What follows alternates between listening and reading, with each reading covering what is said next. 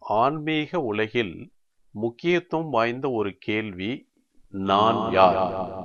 ரமண மகரிஷியின் உபதேசத்தின் சாரமே நான் யார்? என்ற அணுகுமுறைதான் நான் யார் என்பதைப் பற்றி உங்களின் அணுகுமுறை என்ன?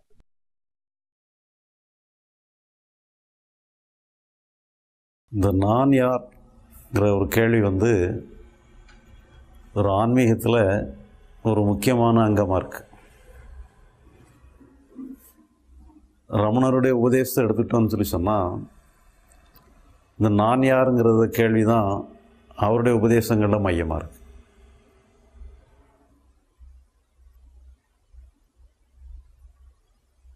ஆனால் என்ன பொதுவாக ரமணர் இதை பார்க்கும் பொழுது இந்த நான்கிறது சில நேரங்களில் நான்கிறது வந்து ஆன்மாங்கிற மாதிரி சில நேரங்களில் சொல்லியிருப்பார். சில நேரங்களில் நான்கிறது வெறும் அகங்காரம் தான்ங்கிற மாதிரியும் சொல்லியிருப்பார். நான் அதனால் என்ன ஆயிருதுன்னு சொல்லி சொன்னால் நான்கிறத வந்து அகங்காரம்னுட்டு எடுத்துக்கிடவா? அல்லது ஆன்மானு எடுத்துக்கிடவாங்கிறதுல சில குழப்பங்கள் ஏற்பட்டுருது. அதனால் இப்போ வந்து நாம் கொஞ்சம் ஃப்ரெஷ்ஷாகவே நம்ம பார்க்கலாம். நாம் நம்ம கோணத்திலே அதை பார்த்துக்கிடலாம். இப்போ நம்ம நான் சொல்லி நம்ம எதை நினைக்கிறோம்?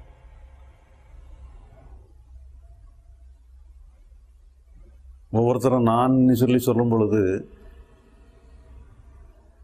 எதை அர்த்தப்படுத்தி நானே நம்ம சொல்கிறோம்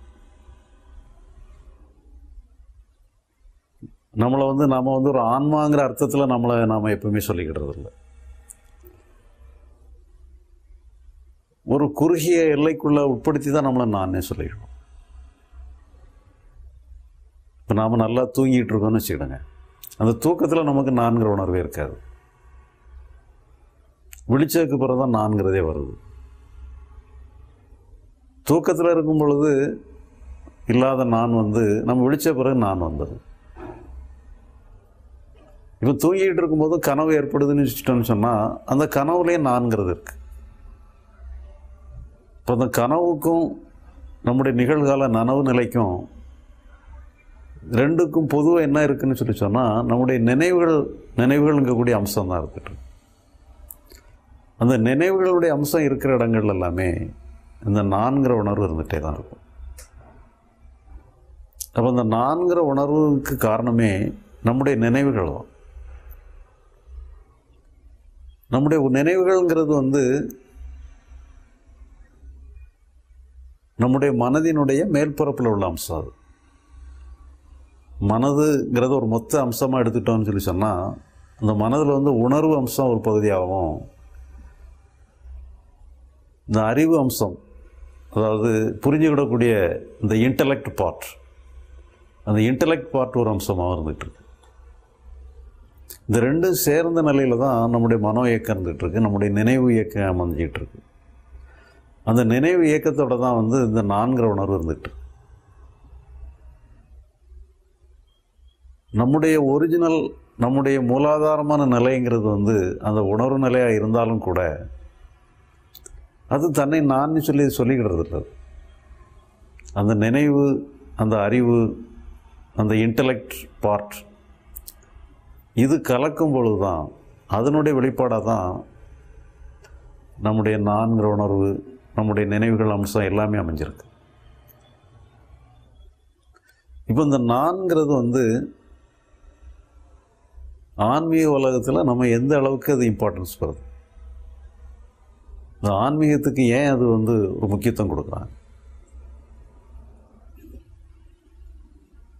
இந்த நான்கிறது சா ஒரு அந்த நான்கிற பிரச்சனை சால்வ் ஆகிட்டுன்னு சொல்லி சொன்னால் இந்த நான்கிற பிரச்சனை வந்து தீர்வடைஞ்சிட்டுன்னு சொல்லி சொன்னால் எல்லா பிரச்சனைகளும் தீர்வடைஞ்சிட்டுன்னு சொல்கிறாங்க இந்த நான்கிறது வந்து எந்த அளவுக்கு முக்கியத்துவம் உடையதாக இருக்குது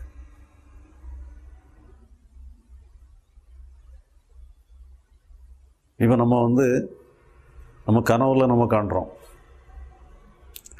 கனவுல வந்து முழுக்க முழுக்க அங்கே எந்த சம்பவமே நிகழலை. உண்மையில் எல்லாமே ஒரு கற்பனை தான். உண்மையில் எந்த சம்பவமே கிடையாது. முழுக்க முழுக்க கற்பனை இல்லாத ஒரு கனவுல வந்து உண்மையான சம்பவமே கிடையாது. ஏதோ ஒரு கற்பனை ஓடிகிட்டுருக்கு ஒரு நினைவு ஓடுற மாதிரி ஓடிட்டு அந்த நினைவுக்குள்ளேயே எல்லா சம்பவங்களும் நடக்கிற மாதிரி நமக்கு தோணுது. அங்கே வந்து இந்த என்னன்னு சொல்லி சொன்னால் அனுபவம் அனுபவிப்பவன் சொல்லி ரெண்டு கூறு அங்கே இருக்க தான் செய்யுது. காண்பவன் காணப்படும் பொருள். அனுபவம் அனுபவிப்பவன் சொல்லி ரெண்டு அம்சம் இருந்துகிட்டே இருக்கு.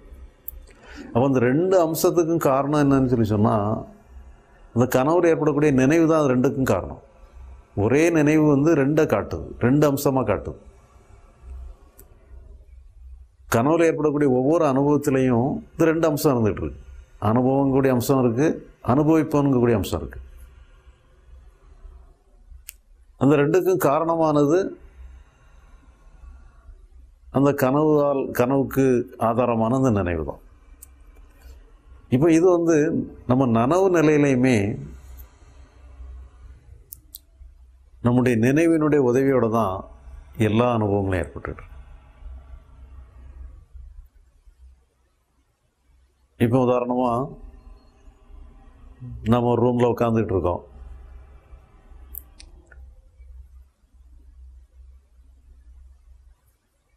எத்தனையோ அங்கே எத்தனையோ விதமான நிகழ்ச்சிகள் நடந்துட்டு இருக்கலாம். அப்படி நிகழ்ச்சி நடக்கும் பொழுது நமக்கு ஒரு செல்ஃபோன் வருதுன்னு வச்சுக்கிறோம் நமக்கு இந்த செல்ஃபோனில் யாரோ நம்மளை கூடுறாங்க செல்ஃபோனில் நம்ம யாரோ கூடும்பொழுது நாம் என்ன பண்ணிடணும் அந்த செல்ஃபோன் அட்டன் பண்ணும்போது அந்த செல்ஃபோனில் பேசி அந்த செல்ஃபோனில் உள்ள இதை நம்ம தெரிஞ்சுக்கிடும் பொழுது நம்ம கவனம்லாம் எங்கே போயிடுதுன்னு சொல்லி சொன்னால் நம்ம பேச்சில் தான் நம்முடைய கவனம் போயிடுது அப்போ அந்த நேரத்தில் அந்த ரூமில் வேறு என்னெல்லாம் நடக்குதுங்கிறது நமக்கு தெரியாது. ஏன்னா நம்ம கவனம் முழுக்க அந்த செல்ஃபோனில் போயிடுது அந்த பேச்சில் போயிடுது. அப்போ எத்தனை நம்மளை சுற்றி எந்த நிகழ்வு நடந்தாலும் நம்ம கவனம் வந்து எதில் பதிவடைஞ்சிருக்குதோ நம்ம கவனம் எதில் இருக்கோ அது மட்டும்தான் நமக்கு தெரியும். அது மட்டும்தான் நம்மளை பொறுத்தில் உண்மை. நம்மளை சுற்றி ஆயிரம் நிகழ்ச்சி நடந்துகிட்டு இருக்கலாம். உண்மையான நிகழ்ச்சியாக இருக்கலாம். ஆனால் நமக்கு தெரிஞ்சது நம்ம கவனம் எதை காட்டுதோ அது மட்டும்தான் நமக்கு உண்டு இப்போ இதே மாதிரி என்னன்னு சொல்லி சொன்னால் நம்ம கணவரை பொறுத்தளவில் அங்கே நம்முடைய நினைவு மட்டும்தான் நடந்துகிட்டு இருக்கு. அங்கே நம்மளை சுற்றி எதுவுமே நடக்கிறது எதுவுமே தெரியாது. நினைவு அம்சம் மட்டும்தான் செயல்பட்டுருக்கு அந்த நினைவு அம்சம் எதை காட்டுதோ அது மட்டும்தான் நமக்கு தருது. இப்போ அதே மாதிரி நம்முடைய நனவு அம்சத்தில் நம்ம நிகழ்கால வாழ்க்கையிலையுமே நிகழ்கால நிகழ்ச்சியிலையுமே கூட நம்முடைய நினைவு எதை காட்டுதோ அது மட்டும்தான் நமக்கு தெரியும். நம்மளை சுற்றி ஆயிரம் நிகழ்ச்சி நடக்கலாம். ஆனால் நம்ம நினைவு காட்டக்கூடிய நிகழ்ச்சி மட்டும்தான் நமக்கு தெரியும். அப்போ இந்த நினைவுனால் மட்டும்தான் நம்முடைய அனுபவங்கள் எல்லாமே அமைக்கப்பட்டிருக்கு. நம்முடைய நினைவினுடைய தொடர்பினால் மட்டும்தான் நம்முடைய அனுபவங்கள் அமைக்கப்பட்டிருக்கு. கனவுல எப்படி நினைவினால அனுபவங்கள் அமைக்கப்பட்டிருக்கோ அதே மாதிரி நிகழ்காலத்திலையும் நம்முடைய நடைமுறை வாழ்க்கையிலையுமே நம்முடைய நினைவால் தான் நம்முடைய ந- நிகழ்கால அனுபவங்கள் அமைக்கப்பட்டிருக்கு. அப்போ கனவுக்கும் நம்ம நனவுக்கும் எந்த வித்தியாசமுமே கிடையாது. இங்கே என்னன்னு சொல்லி சொன்னால் நம்முடைய நினைவுகள் தான் வந்து அனுபவத்தையும் அனுபவிப்பவனையும் கொடுக்குது. கனவுலையும் அந்த நினைவுகள் தான் அனுபவிப்பவனையும் அனுபவத்தையும் கொடுக்குது. அப்போ அங்கே வந்து ரெண்டுக்கும் வித்தியாசமே கிடையாது. இந்த நினைவு அம்சம்தான் வந்து ஒரு ரெண்டு பிரிவாக பிரிஞ்சு அந்த இயக்கத்தை கொண்டு போயிட்டுருக்கு. அனுபவம் அனுபவிப்போனுங்கக்கூடிய ஒரு இரட்டைத்தன்மையோடு இருந்துகிட்டே இருக்கு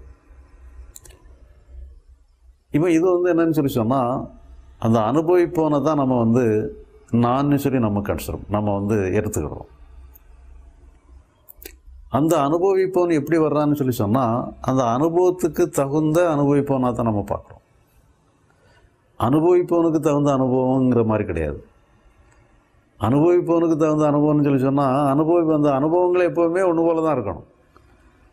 ஆனால் சொல்லி சொன்னால் அனுபவம் வந்து வேறு வேறாக இருக்கிறதுனால அனுபவத்துக்கு தகுந்த அனுபவிப்பவனை நம்ம எப்போவும் நம்மளை பண்ணணும் ஒரு கோபப்படும் போது கோபப்படுவோம்னா நம்ம இருக்கிறோம். பயம் வரும்போது பயப்படுவனாக நாம் இருக்கிறோம். ஒரு பிரச்சனை வரும்பொழுது பிரச்சனையை சந்திக்கக்கூடிய நபராக நாம் இருக்கிறோம். அப்போ நம்முடைய இயக்கமே எப்போவுமே எப்படின்னு சொல்லி சொன்னால் நம்ம அனுபவத்தால் உருவாக்கப்பட்ட ஒரு ஒரு பை ப்ராடக்ட் அனுபவத்தால் ஏற்பட்ட ஒரு விளைவு தன்மையுடைய நபராக நாம் இருக்கிறோம். இப்போ இந்த இது என்னன்னு சொல்லி சொன்னால் அனுபவங்கள் சூழ்நிலைக்கு தகுந்த மாதிரி மாறிக்கிட்டே இருக்கும். ஒவ்வொரு கணந்தோறும் ஒவ்வொரு விதமான அனுபவம் வந்துகிட்டே இருக்கும். ஒரே அனுபவம் அப்படியே அசையாமல் அப்படியே இருக்காது. எல்லா அனுபவங்களும் மாறிக்கிட்டே இருக்கும். இதே மாதிரி தான் என்ன சொல்லி சொன்னால் அந்த அனுபவிப்பவனும் மாறிக்கிட்டே தான் இருக்கான். அப்போ இந்த நான்கிற உணர்வே வந்து நம்ம நினைவால் உருவாக்கப்பட்ட காரணத்தினால அது ஒரு கணந்தோறும் ஒரு புது புது அம்சமாக தான் இருந்துட்டு நாம் இதில் வந்து ஒரு பெர்மனன்சி ஒரு நிரந்தரத்தன்மை ஒரு நிச்சயமான தன்மையை நம்ம எதிர்பார்க்கிறதுங்கிறது வந்து அது ஒரு சரியான நிலை இல்லை. அது மாறிக்கிட்டே இருக்குது. மாறுறது தான் அந்த அந்த- அந்த இந்த மனதினுடைய இயல்பு நினைவினுடைய இயல்பு. அப்போ இந்த நான்கிற உணர்வுமே எப்போவுமே மாறி மாறி தான் அமைஞ்சிட்டு தான் இருக்கும். ஒரு தற்காலிகமான இயக்கம் தான் இப்போ இதில் வந்து ஆன்மாங்கக்கூடிய கருத்து எப்போ வருதுன்னு சொல்லி சொன்னால் இந்த நான்கிறதே ஆன்மாவினுடைய அம்சம். நான்கிறதினுடைய மூல நிலையே ஆன்மாதான். நீட்டு சொல்லி ஒரு க- ஒரு கருத்து டெவலப் பண்ணி பொதுவாக சொல்லப்படுது. ஆனால் இதெல்லாம் என்னன்னு சொல்லி சொன்னால் சாஸ்திரங்களுடைய கூற்று. மற்றபடி நம்முடைய அனுபவம்னு அதை சொல்ல முடியாது. சாஸ்திரங்கள் வந்து நம்மளை ஆன்மாவாக சுட்டி காட்டுது அப்படி சுட்டி காட்டக்கூடிய உரிமை வந்து சாஸ்திரங்களுக்கு இருக்குது அதனால தப்பு கிடையாது. ஆனால் நாம் வந்து நம்மளை வந்து ஒரு தற்காலிகமான இயக்கமாக காண்றது தான் ஒரு நடைமுறை உண்மையாக இருக்குது நினைவினுடைய அம்சமாக நம்மளை காண்றது தான் ஒரு நடைமுறை உண்மையாக இருக்குது ஏன்னா ஆன்மாங்கிறது என்னன்னு சொல்லி சொன்னால் ஒரு அடித்தளமான விஷயம். ஆன்மாங்கிறது வந்து ஒரு நடைமுறை உண்மைன்னுட்டு அதை எடுத்துக்கிட முடியாது. ஒரு உணர்ந்தறியக்கூடிய உண்மைன்னு எடுத்துக்கிட முடியாது. அது வந்து ஒரு அப்சல்யூட் ட்ரூத்ஸ் அதாவது ஒரு முழு முதல் உண்மைன்னு எடுத்துக்கிடலாம். அது வந்து ப்ராக்டிக்கல் ட்ரூத் ஒரு நடைமுறை உண்மைன்னு எடுத்துக்கிட முடியாது. நம்ம வந்து இந்த ஆன்மாவை பற்றி நம்ம சொல்கிறத நம்ம கேள்விப்பட்டிருப்போம். ஆன்மான்னா என்ன? ஆன்மாங்கிறது எப்படி தெரிஞ்சுக்கிடுறது சொல்லி நம்ம நிறைய கேள்விப்பட்டிருப்போம்.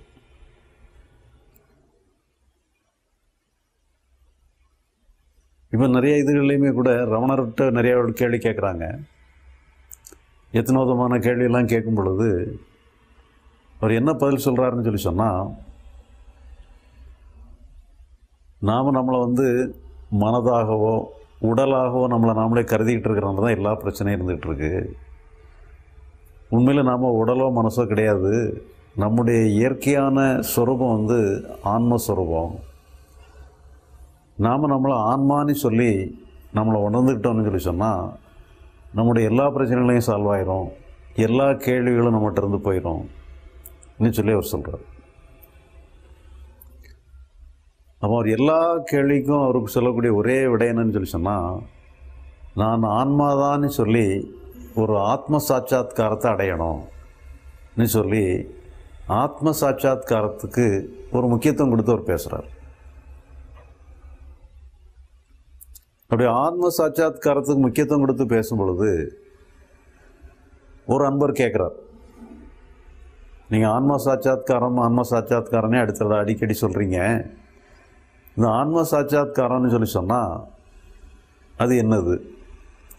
நம்ம ஆன்ம சாட்சாத்காரத்தை வந்து பிரத்யட்சமாக நாம் அறியணுமா?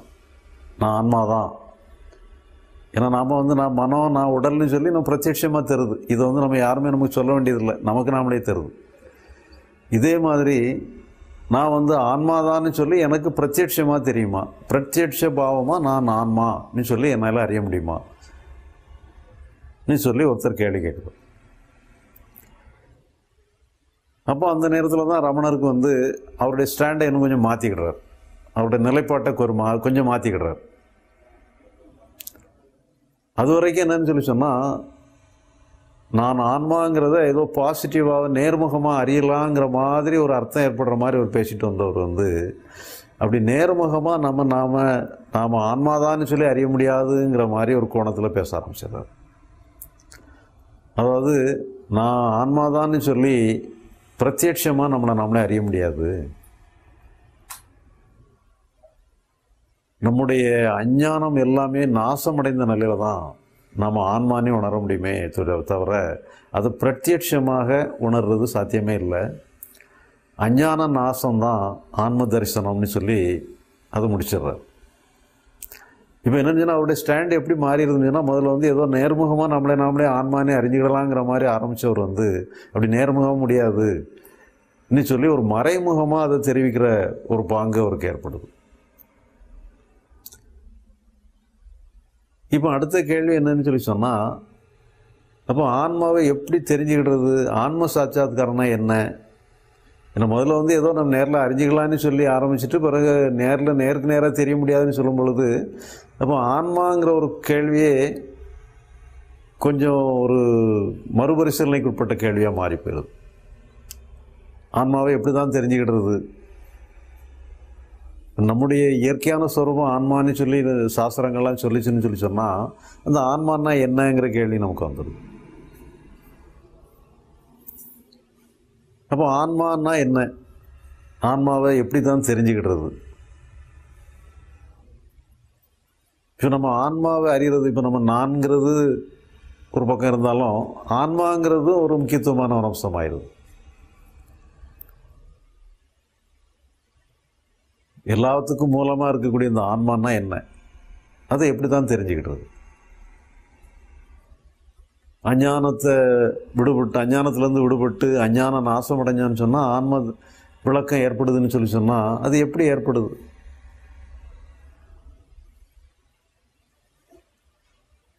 இப்போ வந்து நமக்கு வந்து ஒரு இதை அறிய நம்ம எதை அறிஞ்சிக்கிட்டாலும் நமக்கு அறியக்கூடிய கருவிகளாக எது இருக்குன்னு சொல்லி சொன்னால் நம்முடைய பொறி புலன்கள். நம்முடைய புலன்களாலையும் பொறிகளாலையும் நம்ம அறிஞ்சிக்கிடுறோம். சிலவற்றை நம்ம வந்து மனதால் அறிகிறோம் நம்ம அறிவால் அறிகிறோம் இப்படி அறிவாலும் பொறிகளாலும் புலன்களாலும் இந்த ஆன்மாவை அறிய முடியுமா? இப்படி நம்ம கேட்டோம்னு சொல்லி சொன்னால் இதால் அறிய முடியாது. ஏன்னா இதால் அறிஞ்சான்னு சொன்னால் பிரத்யட்சமாக அறிஞ்ச மாதிரி தான் அது. ஏன்னா எல்லாத்தையுமே நம்ம அப்படி தான் அறிஞ்சிக்கிட்டு இருக்கோம். அப்படி அறிகிறது தான் நம்ம பிரத்யட்சமாக அறிகிறதுன்னு நம்ம சொல்கிறோம் அப்போ ஆன்மாவே இப்படி அறிஞ்சிட்டோம்னு சொல்லி சொன்னால் அது பிரத்யட்சமாக அறிஞ்சதாக ஆயிரும் அது. ஆனால் அப்படி அறிய முடியாதுன்னு சொல்லி சொல்கிறார் சாஸ்திரங்கள் அதுதான் சொல்லுது. உன்னுடைய மனதாலும் புத்தியாலேயோ அல்லது பொறி புலன்களாலேயோ ஆன்மாவை அறிய முடியாதுன்னு சாஸ்திரமாக தான் சொல்லுது. அப்போ இந்த ஆன்மாவை நம்ம எப்படி தான் தெரிஞ்சுக்கிடுறது? ஆன்மாவை எப்படி தான் நம்ம அறிஞ்சுக்கிடுறது?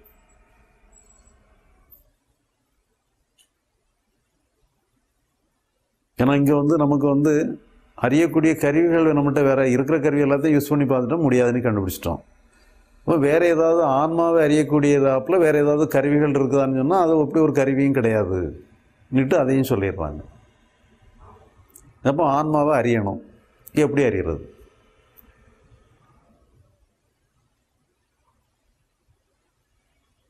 இப்போ இதுக்கு வந்து சாஸ்திரம் ஏதாவது வழிகாட்டுதா?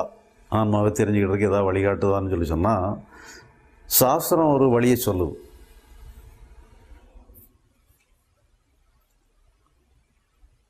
என்ன வழியை சொல்லுதுன்னு சொல்லி கேட்டோம்னு சொன்னால் ஆன்மாவாலே ஆன்மாவை அறிஞ்சிக்க.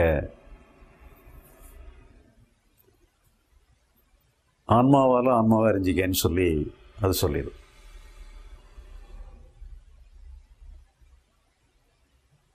ஒரு விளக்கை தெரிஞ்சுக்கிடுறதுக்கு இன்னொரு விளக்கு தேவையில்லை. இந்த விளக்கையே தன்னை விளக்கி காட்டிக்கிடும். சொல்லி அது சொல்லிடும். சரி அப்போ அப்படி விளக்கி காட்டிட்டுதுன்னு சொல்லி சொன்னால் அது எப்பவும் அது தன்னை தானே விளக்கிட்டு தானே இருக்கணும். இப்போ நம்ம அந்த தன்னை தானே விளக்கிட்டு இருக்கிறத நம்ம அறிஞ்சிக்கிட்டு இருக்கிறோமா?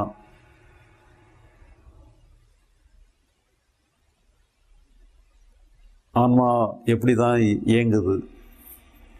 அது தன்னைத்தானே எப்படி விளக்கி காட்டிகிட்டு இருக்கு அப்போ ஆன்மாவினுடைய இயக்கம்னா என்ன?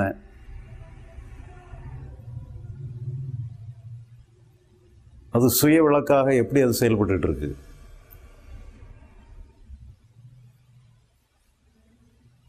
இப்போ நாம் வந்து நம்ம நாக்கை பற்றி நமக்கு தெரியும். நமக்கு எத்தனை விதமான சுவைகளை அறிகிறது தான் நம்முடைய நாக்கு. ஆறு விதமான சுவைகளை நம்ம நாக்கு மூலமாக நம்ம அறிஞ்சிக்கிட்டு இருக்கோம். இனிப்பை சுவைக்கும் பொழுது இனிப்பு சுவையாக மாறிடுது. கசப்பை சுவைக்கும் பொழுது கசப்பு சுவையாக மாறிடுது. இப்படி ஒவ்வொரு சுவையாக மாறும் பொழுதும் நம்ம நாக்கு வந்து ஏதாவது ஒரு சுவை உணர்வாக மாறி அந்த சுவை உணர்வை காட்டுது. அது எந்த சுவையுமே சுவைக்காத நிலையில் அந்த நாக்கு வந்து என்ன சுவை உணர்வோடு இருக்கும்? அதுதான் அந்த நாக்கினுடைய இயல்பான நல்லது அதை வந்து சுவை உணர்வுங்கக்கூடிய ஒரு மொழியில் சுவை உணர்வுங்கக்கூடிய ஒரு விளக்கத்தில் நம்ம அதை எடுக்கவே முடியாது. அப்போ அந்த நாக்குங்கிறது தான் என்னன்னு சொல்லி சொன்னால் அப்போ தான் தன்னுணர்வோடு இருக்குது. அந்த தன்னுணர்வோடு இருக்கக்கூடிய ஒரு அம்சத்தில் அதுக்கு வந்து அது இருக்கிறது தெரியாமல் இருந்துகிட்டு இருக்கு. இப்போ எல்லாருமே வந்து நம்ம எதையுமே சாப்பிடும் பொழுது நாக்கு ஏதோ ஒரு சுவை இருக்குன்னு நம்ம சொல்ல முடியாது. அது இருக்கிறது தெரியாமல் இருக்கும். எதையாவது சுவைக்க ஆரம்பிக்கும் போது அது இருக்கிற நாக்கு இருக்கிறதே நமக்கு தெரியும். அப்போ வந்து அது ஒரு வெளிப்படக்கூடிய ஒரு வெளிப்பாடுகளை காட்டுறதுக்குள்ள ஒரு அம்சமாக தான் இருக்குது ஆனால் எல்லாமே நாக்கினுடைய அம்சமாக மாறி தான் வெளிப்படுது. நாக்கினுடைய அம்சமாக நம்முடைய சுவையுணர்வு மாறினதுனால அந்த நாக்குக்கு ஒரு தனி சுவை இருக்குன்னு நம்ம சொல்லிட முடியாது. ஆனால் அதுக்கு நாக்கே இல்லை நமக்கு சுய உணர்வே இல்லைன்னு சொல்லிட முடியாது. இருக்குது ஆனால் இருக்கிறது தெரியாமல் இருந்துட்டு. இப்படி தான் என்னன்னு சொல்லி சொன்னால் இந்த மெய்ப்பொருளுங்கிறதுமே இந்த ஆன்மாங்கிறதுமே இருக்குது ஆனால் இருக்கிறது தெரியாமல் இருந்துட்டு. இதுதான் எல்லாத்துக்கும் ஆதாரம். இதை வச்சு தான் எல்லாமே இயங்கிகிட்டு இருக்கு இது இல்லாமல் எந்த இயக்கமும் இல்லை. ஆனால் இது வந்து ஒரு தனி இயக்கமாக இல்லை. எல்லா இயக்கத்துக்கும் மூல இயக்கமாக தான் இருக்கக்கூடிய இது ஒரு தனி இயக்கத்தை மெயின்டைன் பண்ணலை. தனி இயக்கத்தை நடத்திட்டு வரல.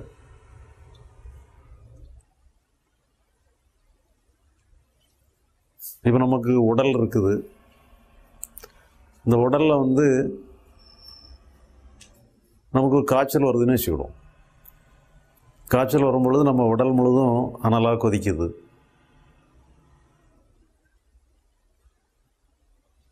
உடலெல்லாம் வலியாக இருக்குது. நம்ம ஏதோ ட்ரீட்மெண்ட் எடுத்ததன் விளைவாக அந்த காய்ச்சல் போயிடுது இல்லை தானாகவே போயிடுது அந்த காய்ச்சலெல்லாம் முடிஞ்சதுக்கு பிறகு அந்த உடலில் வலியோ வேதனையோ எதுவுமே இருக்காது. அதெல்லாம் போன பிறகு என்னன்னா நம்ம உடல் இருக்கிறதே தெரியாது. ஒரு ஆரோக்கியமான உடல் வந்து அது இருக்கிறது தெரியாமல் இருக்கும். அது தன்னை இருக்கிறத காட்டிட்டுன்னு சொன்னாலே அங்கே ஏதோ ஒன்று இப்போ ஒரு பிரச்சனை இருக்குன்னு அர்த்தம்.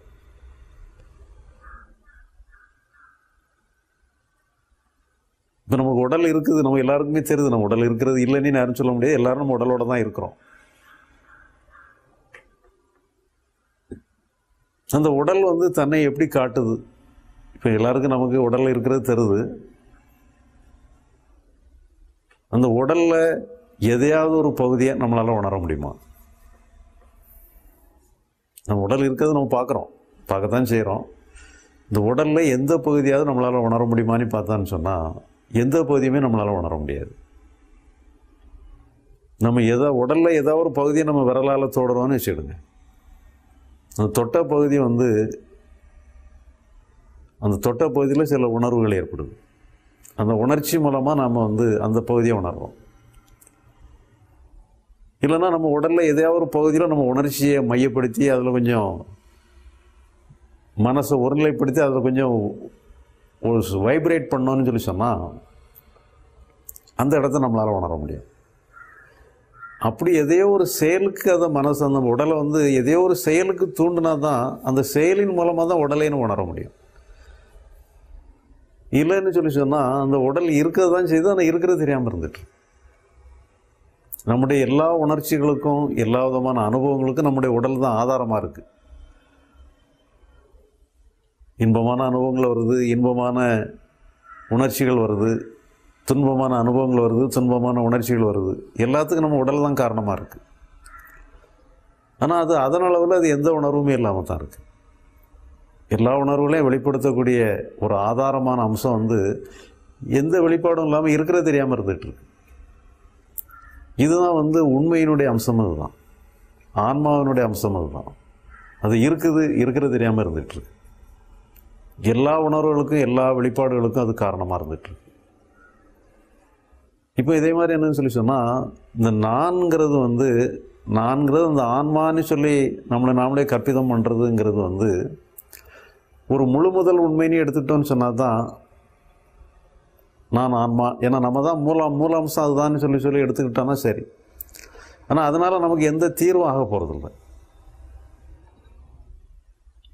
ஏன்னா அங்கே எங்கே எந்த பிரச்சனையுமே கிடையாது. பிரச்சனை எங்கே இருக்குதுன்னு சொல்லி சொன்னால் இந்த நான்கிறதுல தான் பிரச்சனை இருந்துகிட்ருக்கு அந்த நான்கிறது வந்து ஒரு மனோ அம்சமாக இருக்கும்போது தான் பிரச்சனைக்குரியதாக இருக்குது அப்போ மனோ அம்சமாக நம்மளை நாமளே கன்சிடர் பண்ணி நம்மளை நாமளே எடுத்துக்கிட்டு அதில் நம்ம தீர்வு கண்டோம்னு சொன்னால் அந்த தீர்வு தான் வந்து ஒரு நிரந்தரமான தீர்வு அமையும். அப்போ நான்கிறது ஆன்மானு சொல்லி நம்மளை அபிமானியம் பண்ணிக்கிட்டு இருக்கிறதுனால தீர்வு கிடைக்க போகிறதில்ல நான்கிறது வந்து ஒரு மறைஞ்சு போகக்கூடிய ஒரு அம்சம்தான். நான்கிறது ஒரு தற்காலிகமான ஏக்கம்தானே நம்ம கண்டுபிடிச்சிட்டோம்னு சொன்னால் அதை வந்து நம்ம மனோ அம்சங்கள்லாம் தானாக தன்னைத்தானே தீர்வு பண்ணிக்கிடுதுங்கிற மாதிரி அதை நம்ம கண்டுக்கிட வேண்டிய அவசியமே இல்லை.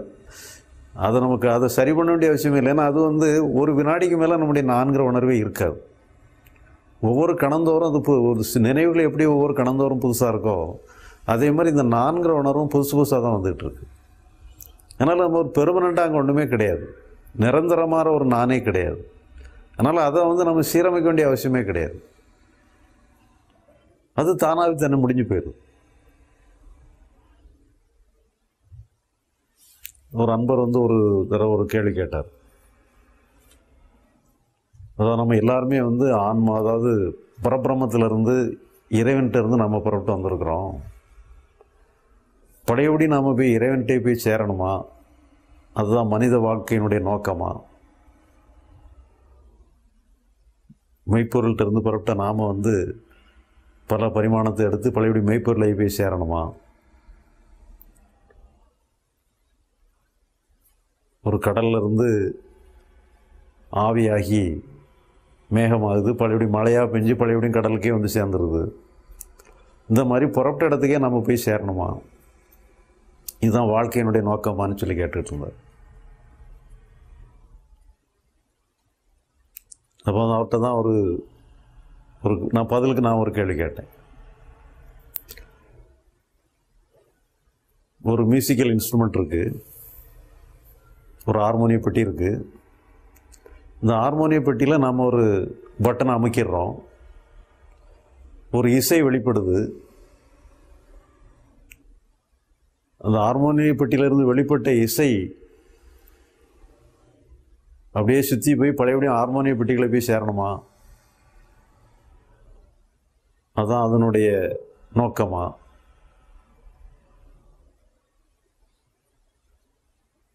இப்போ என்னன்னு சொல்லி சொன்னால் வெளிப்பட்டதெல்லாம் மறைஞ்சு தான் போகணும். அங்கே ஒன்றும் பழையபடி புறப்பட்ட இடத்துக்கு போய் சேரணும்னு ஒன்றும் அவசியமே கிடையாது. இதெல்லாம் வந்து எக்ஸ்பிரஷன் வெளிப்பாடுகள். இப்போ இந்த நான்கிறது வந்து வந்து வந்து மறைஞ்சு போயிட்டே இருக்கு அவ்வளோதான் அது வந்து எங்கேயோ போய் சேர்ந்து எது எத்தனையோ பரிமாணம் எடுத்து எங்கேயோ போய் சேர்றதுங்கிறதெல்லாம் நாமளே நாமளே கற்பிதம் பண்ணிக்கிட்டது.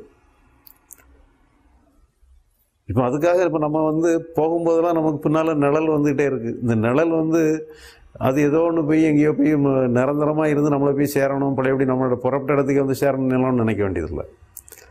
அதே மாதிரி உண்மையினுடைய நிழல்களாக தான் நம்முடைய இந்த நான்கிற உணர்வுகள்லாம் வந்துட்டு இருக்கு. நம்முடைய அனுபவங்கள் எத்தனையோ வந்துட்டு இந்த அனுபவங்கள்லாம் வர வேண்டியதுதான். அது இருக்க வேண்டியதான் மறைய வேண்டியதுதான். அது வந்து பழையபடி வந்து எங்கேயோ போய் சேரணும் எங்கேயோ போய் அடையணுங்கிற அவசியம் இல்லை. அப்போ இந்த நான்கிற உணர்வுலாம் வந்து வெளிப்பட்டு மறைய வேண்டிய ஒன்று தான் அது வந்து நிரந்தர நீட்டு சொல்லி அங்கே ஒன்றும் கிடையவே கிடையாது. அது நம்மளா கற்பிதம் பண்ணிக்கிட்டது தான் இந்த ஆன்மாங்கிறது உண்மைதான். அதில் ஒன்றும் போய் கிடையாது. நம்முடைய உணர்வு நிலைங்கிறது போய் கிடையாது. அதில் வந்து அதுக்கு எந்த எந்த தீர்வுமே அங்கே வேண்டியதில்லை. அது மறை அது இருக்கிறது இல்லை மறைகிறது இல்லைன்னு சொல்கிற மாதிரி எப்போவுமே சாஸ்வதமாக இருக்குது அது. அதை பற்றி நம்ம டீல் பண்ணலை. அதை பற்றி நம்ம பேசலை. இந்த வெளிப்படக்கூடிய வெளிப்பாடுகளை பற்றி தான் நம்ம பேசிகிட்டு இருக்கோம். அந்த வெளிப்பாட்டுக்கு என்ன தீர்வுன்னு சொல்லி நம்ம பேசிகிட்டு இருக்கோம். அந்த வெளிப்பாடு வெளிப்பாடுகள் எல்லாமே வர வேண்டியதான் மறைய வேண்டியதுதான். நம்ம அதில் தீர்வு கண்டதுக்கு அங்கே ஒன்றுமே கிடையாது. இது இப்படி மாறணும் இப்படி இருக்கணும் நீ சொல்லி அவங்க தீர்வு காண வேண்டிய அவசியம் இல்லை. அப்புறம் அந்த நான்கிற உணர்வுகள் எல்லாமே ஒரு தற்காலிகமாக வந்து போகக்கூடிய ஒன்று அதில் தீர்வு காண்றதுக்கு அங்கே ஒன்றுமே இல்லை. இப்போ நம்ம பார்த்தோம். கனவுல வந்து அனுபவம் அனுபவிப்போன்னுட்டு இருக்குது. ஒரே நினைவு தான் ரெண்டுக்கும் காரணமாக இருக்குன்னு சொல்லி பார்த்தோம். இதே மாதிரி தான் நம்முடைய நனவு நிலையிலையுமே ஒரே நினைவு தான் வந்து அனுபவம் அனுபவிப்போங்கிறதுக்கு காரணமாக இருந்துட்டு இருக்கு. ஒரு ரெட்டை அம்சமாக இருக்குது பட் இருந்தாலும் ஒரே நினைவு தான். அந்த ஒரே நினைவில் வந்து அங்கே உண்மையிலே பிரச்சனை கிடையாது.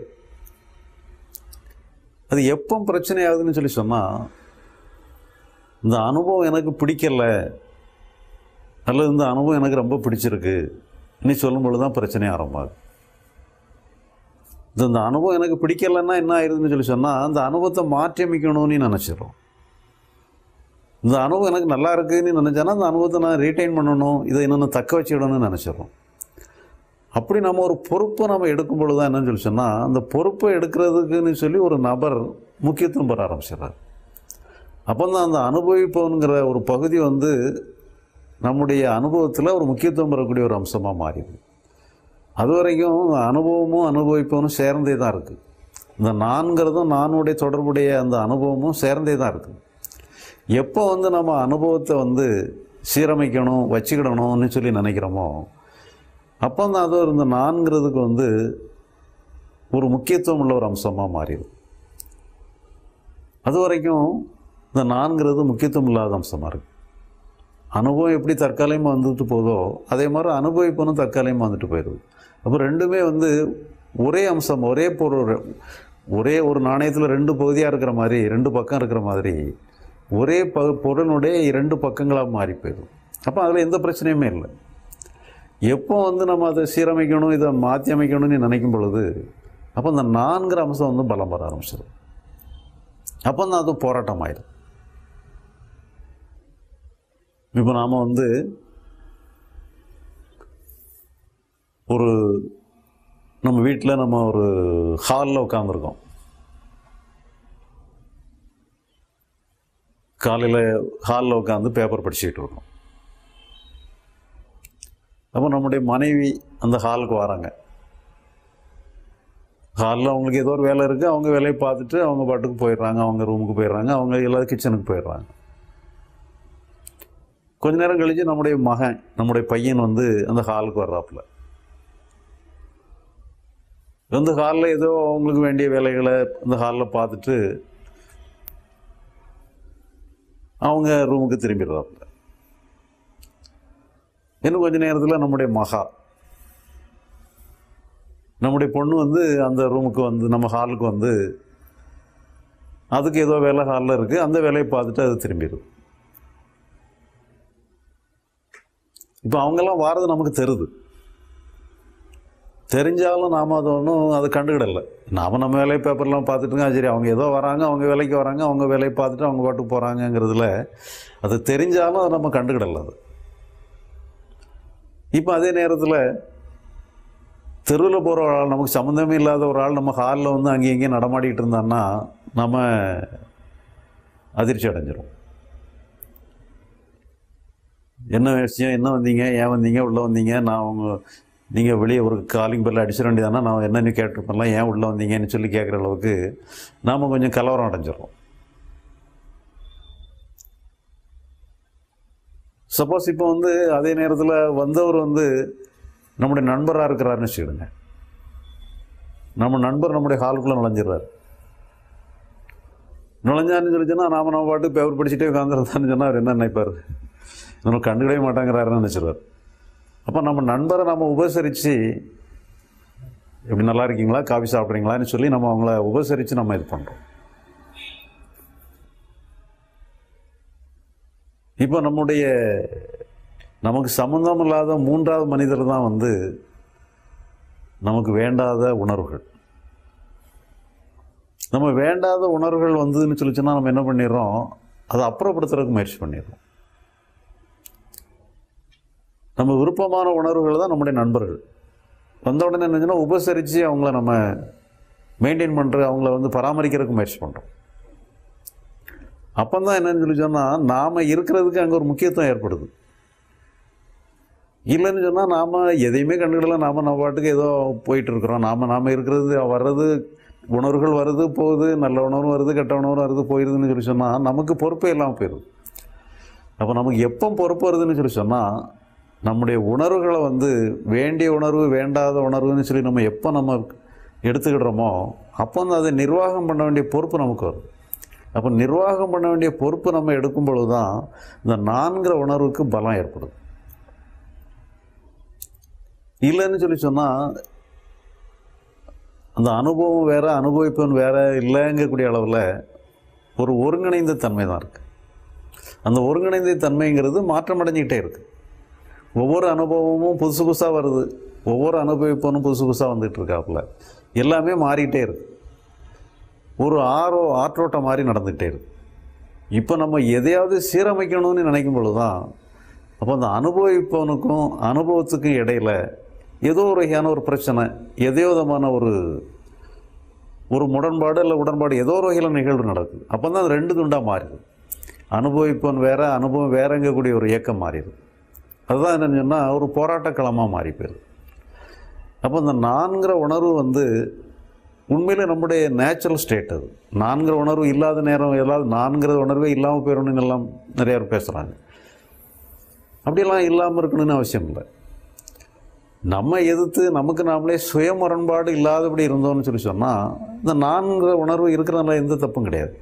நான்கிற உணர்வு இல்லாத நிலை இருக்குன்னுட்டு அப்படி ஒரு நிலை கற்பனை கூட பண்ண முடியாது.